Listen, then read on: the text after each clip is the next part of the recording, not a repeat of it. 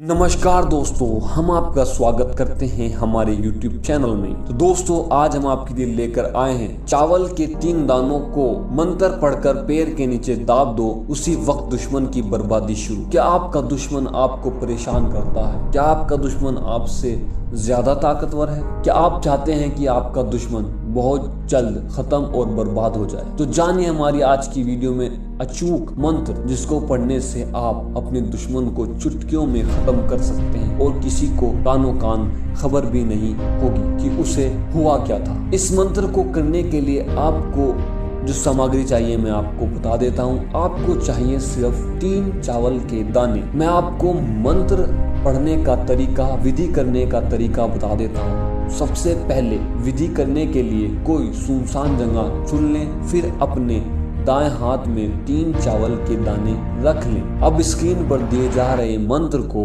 150 बार जाप करें। मंत्र पढ़ते वक्त दुश्मन को अपने जहन में रखें और मंत्र जाप होने के बाद तीनों चावल के दानों पर फूक मार दें। फिर तीनों चावल के दानों को ज़मीन पर रख के उसके ऊपर ज़ोर से पैर मारे।